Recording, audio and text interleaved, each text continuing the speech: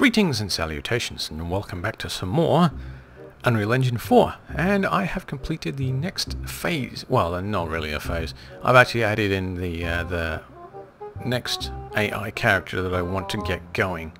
Um, so let's resume this.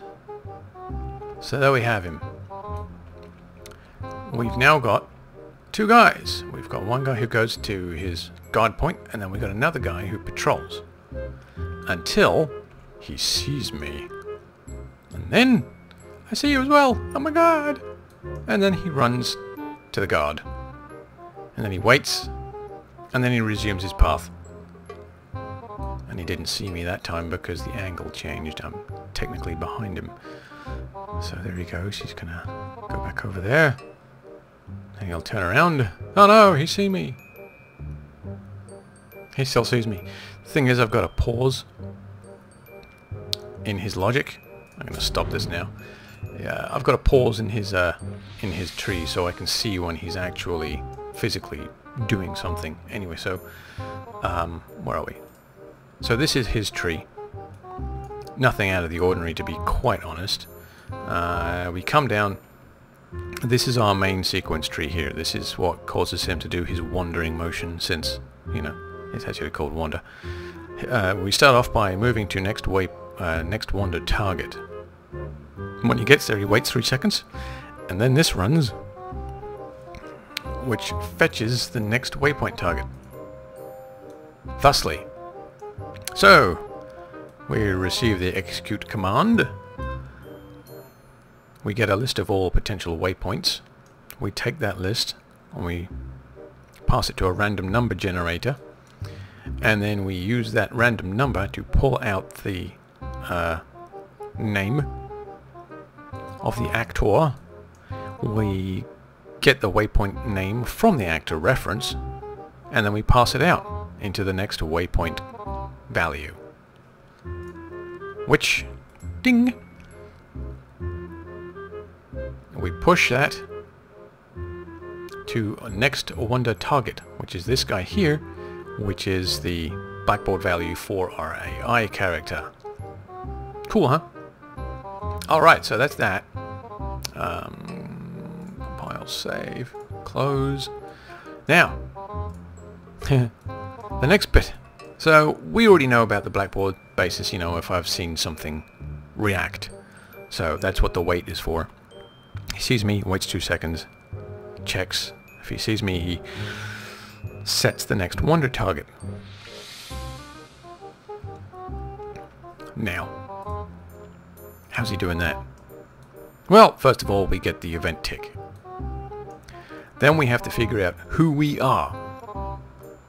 Because these blueprints are valid for all characters of that same class, so Wonder, you know, Wonder uh, God, oh, sorry, blah. AI Wanderer 1, AI Wanderer 2, AI Wanderer 3, you know, all those different potential characters in the game can use this same Blackboard event. So we have to figure out how we differentiate between them. And that's what this is doing here. We have finding out who the hell am I. So, you know, who the hell am I? Where the hell am I currently standing? Now we're also getting a list of all the other actors who fit into this category, AI Guard character, which is going to be all the potential guards in the game. That produces me a list, or an array, of actors. So we do a loop. And we go through this loop, we get their current location, we take their location from my location as a vector, and we pass it into here, and we turn the vector uh, sorry, we get the vector length from this.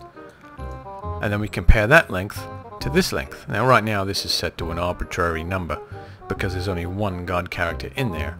And I haven't done, oh you know what, I haven't done the set. I'd have to add in another one in here to set that distance to the last run through this loop.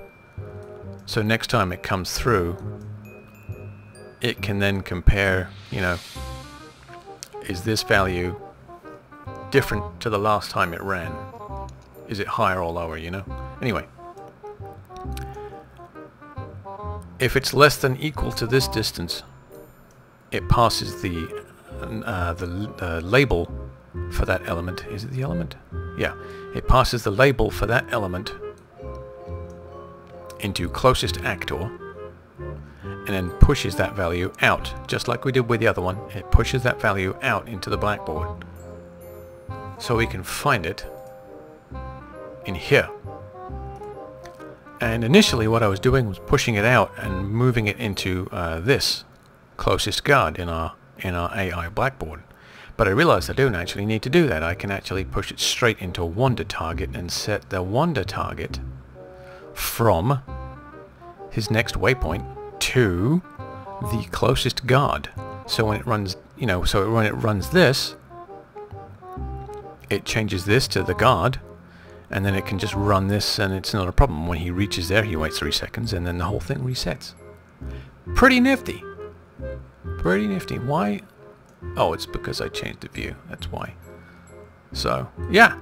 And that seems to be working pretty well. So that's that's my second AI character basically taken care of. Now I can make him freeze and freak out like that. Oh my god, I still see you. I don't know what to do. Bob, come back, Bob. Help me. Uh-oh, Bob's coming for me. So, go away, Bob. I don't want to be, uh, I, I don't know. I uh, it's the jump sequence is what he's doing. Anyway, so that's that. See, there he is. He's found Bob. I know he's going to wait three seconds and return to his predefined random path. and that's that. So, uh, the next, then what's the next AI I have to do? Oh, the chase. The next AI is the going to be the more aggressive one. Um, once he sees me, he's going to chase me down. Like, forever. the idea being either he gets killed or I get killed. That's going to be the outcome for that particular AI character next. And then after that is the sleeper. He's going to do nothing but idle until I perform an aggressive action against him or someone within his uh, predefined bounds. So those those are the next two I need to do. And uh, I've got to say this is actually kind of fun in a weird kind of way. Again, this is getting him to do this has taken me the best part of a day. but again, you know, I started into this knowing absolutely nothing. And as you can see, I'm, I'm starting to, to kind of get the hang of it. Um, initially, actually, I was looking at, um, instead of doing waypoints, doing splines. But setting up splines and getting a an AI character to follow it in this is a nightmare. Um, once you've got it set, it's okay, um, and you get much better fluid motion. You know, they don't they don't they follow the spline line so they are constantly rotating to the way, or you know, they're constantly orienting themselves to the path that they're on. They're not just walking in a straight line, turning, straight line, turning. And it looks really nice and it's very fluid, but it is really tricky to set up. So, for the moment, nuts to that.